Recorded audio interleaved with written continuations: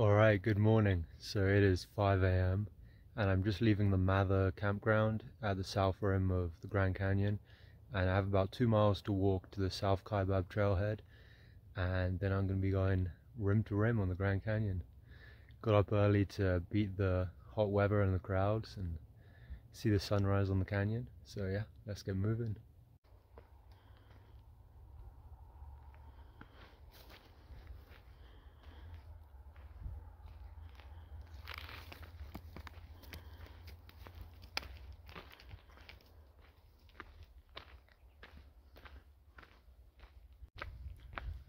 So I'm almost at the South Kaibab trailhead. Gonna get there before sunrise for sure.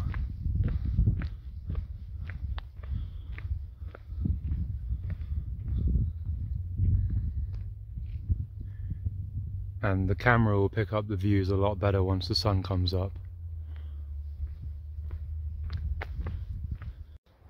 So I'm really excited to be here. Finally made it to the Grand Canyon and going to be hiking rim to rim. Really excited.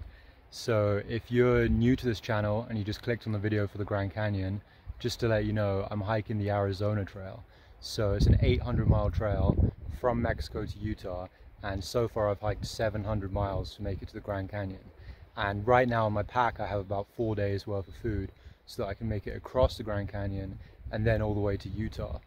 So if you're curious about the Arizona Trail, curious about more hiking content, then please do subscribe to the channel because I have lots of interesting videos and after this I'm going to be hiking the Continental Divide Trail which goes 3,000 miles from Mexico to Canada. So definitely subscribe to the channel if you're interested in more hiking content. But yeah, let's crack on with the hike then, shall we?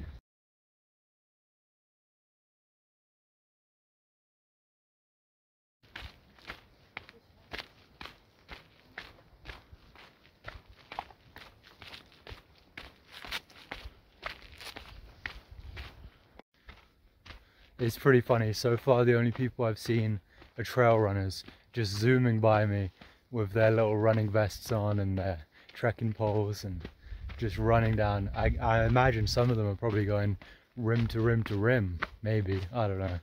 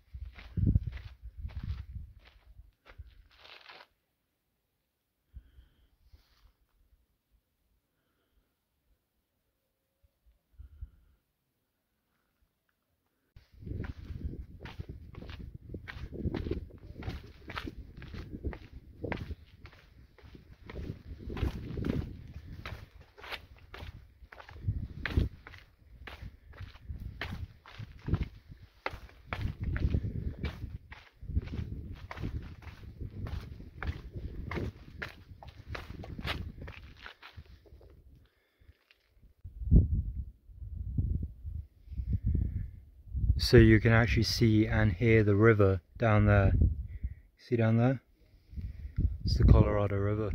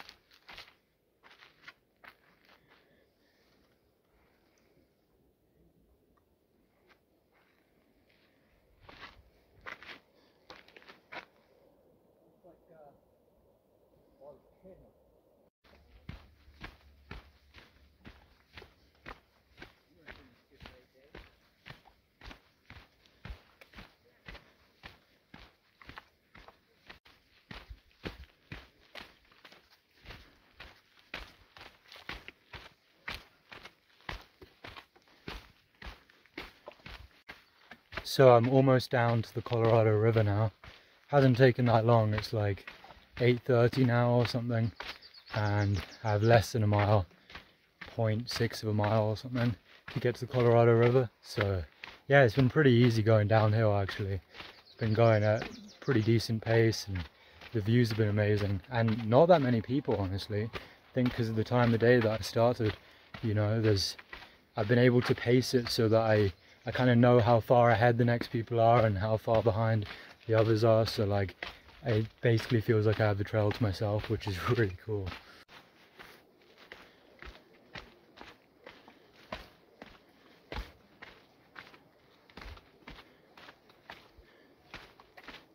But yeah, even though it's still in the morning, it has started to warm up quite a lot. It's not really hot yet, but in the sun it is very hot.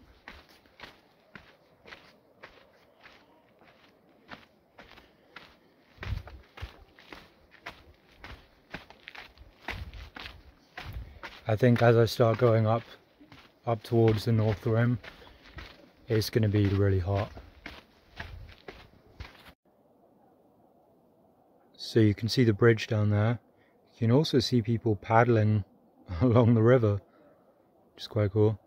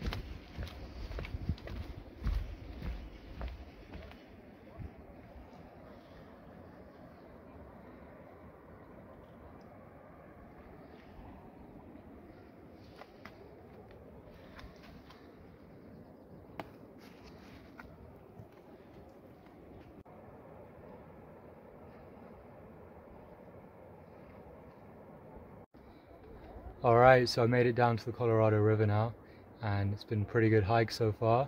Not too difficult. It's starting to get hot now, especially in the sun. Uh, so gonna put my sun hat on and keep moving. Soon I'll be going uphill and I've got a lot of uphill to go. So. It's a much more desert-like environment down here. As you can see, I'm back to these cacti. Haven't seen these cacti in a while. And look, these ones are flowering.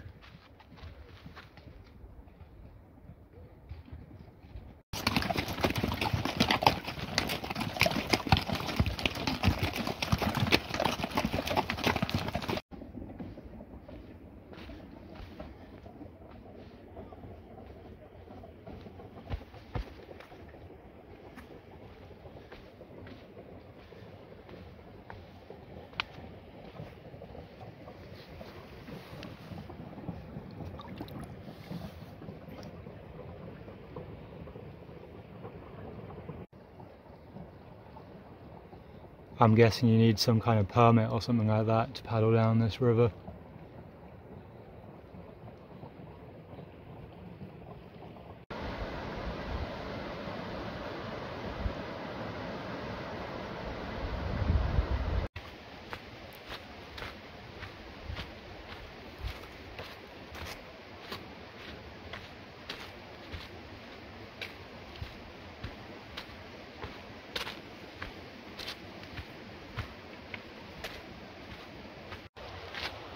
I'm guessing there's probably a waiting list for those permits to paddle down the Colorado River. Probably like an eight year long waiting list or something just to get a permit to paddle down a river.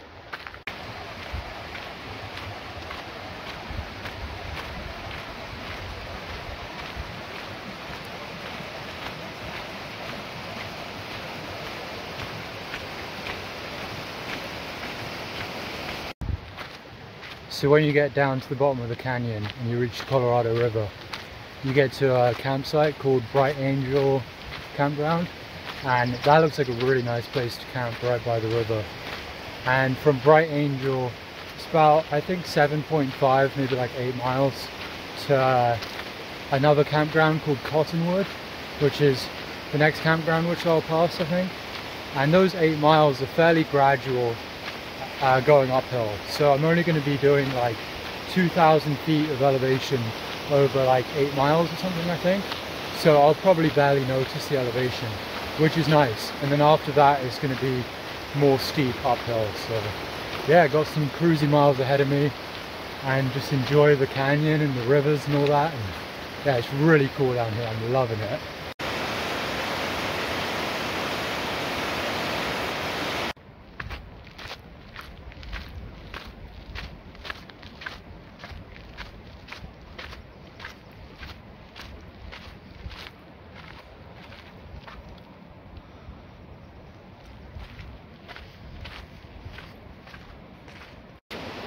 This is bizarre. There's actually like no one down here.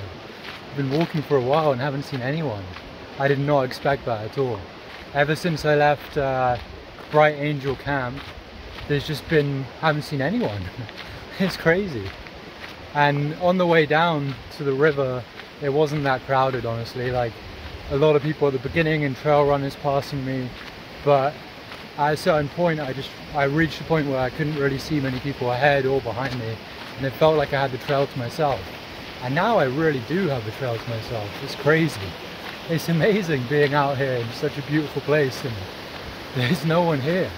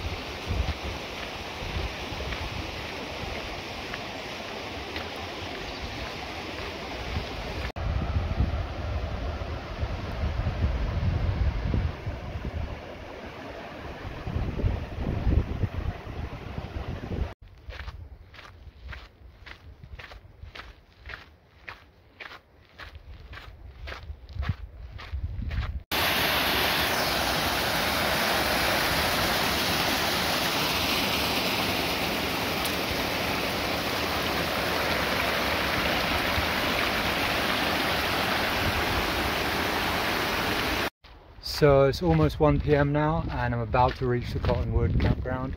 I slowed my pace down a bit because it's actually been quite hot now. It's been hot for a few hours, well a couple hours I guess. And yeah, not really any shade. At that last stream I stopped for a bit, splashed some water on my face, drank some water, had um, some electrolytes, one of those Nuun tablets. So feeling pretty good. Just making sure I don't push myself too hard and making sure I stay hydrated because I don't want to you know wear myself out. But yeah after I reach Cottonwood which is going to be within the next couple minutes I'm pretty much there. After that I have only another six miles to reach the North Rim still 4,000 feet of elevation and the heat is going to be a factor. But yeah pretty crazy. I think it's just six miles 4,000 feet of elevation something like that. Maybe a little bit more than 4,000 maybe 4,500 I don't know. But yeah pretty crazy. It's been an amazing day. It's, it's honestly like feels magical down here. I love I love being in the bottom of the canyon. It's so cool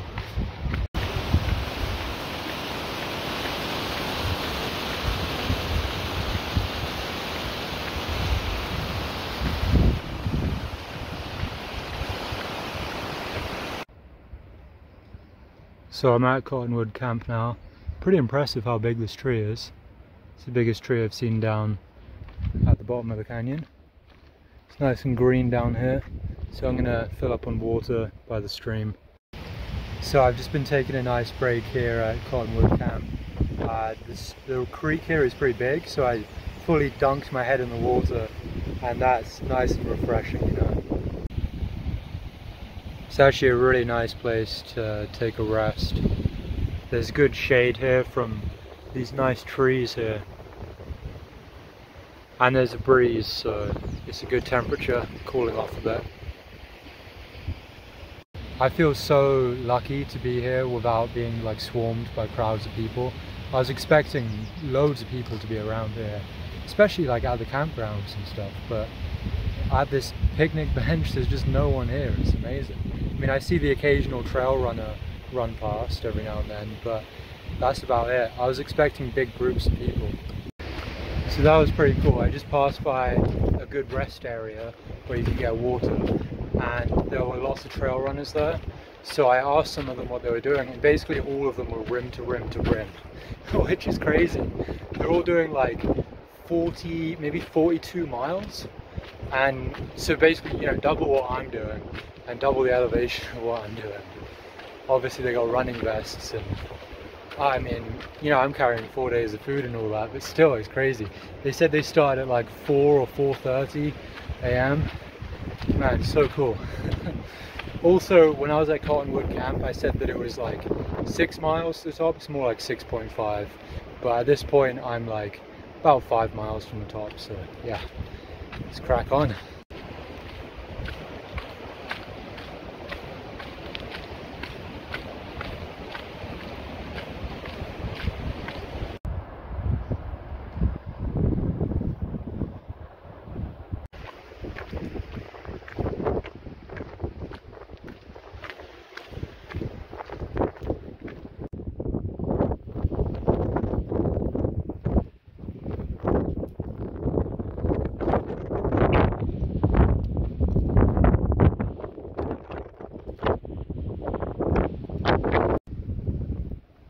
I think it's pretty impressive how they built this trail. There's so that's trail down there. That's quite far down, and it basically there's loads of switchbacks just going up here, straight up the cliff edge. It's quite impressive. So look, this is the trail along here, which I came along.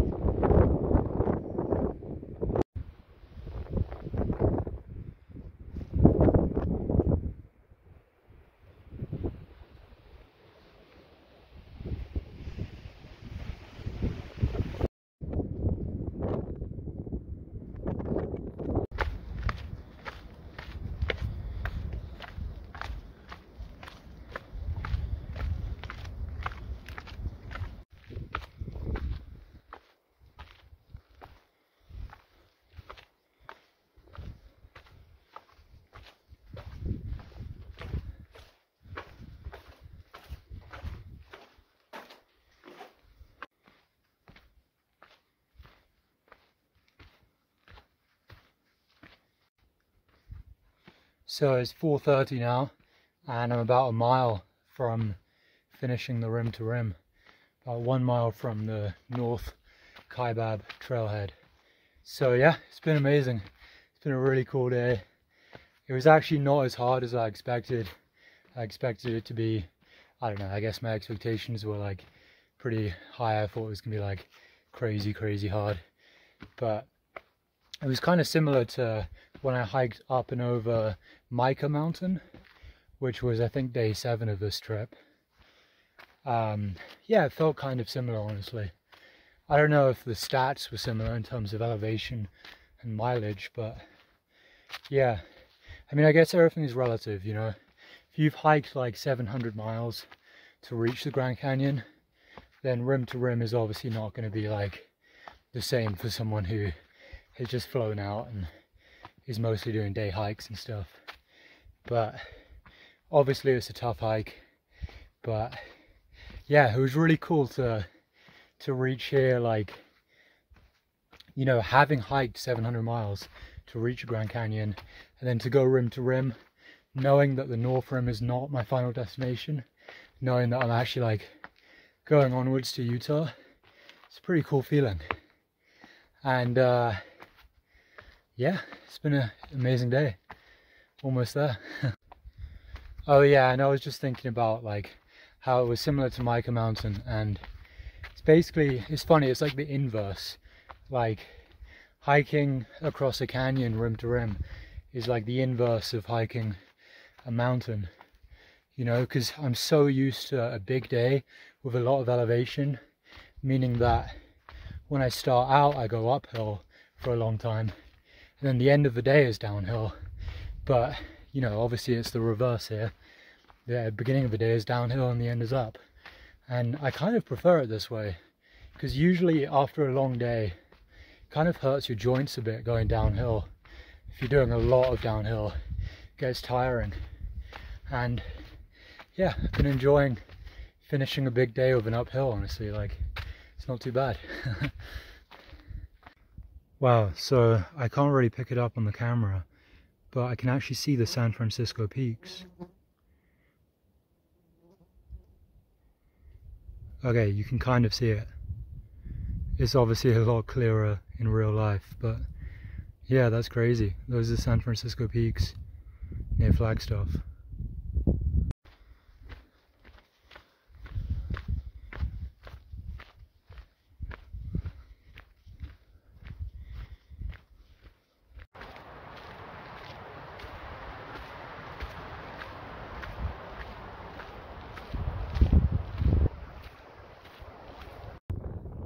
All right, I did it. Rim to rim in a day. There you go. That's it. What an amazing hike. Wow. There's a lot of snow up here as well. Did it in barefoot shoes as well. These shoes are almost worn through on the sole and they're like coming apart here. These shoes have made it 700 miles so far, or more than 700 now. Just to give you an idea what these shoes are like.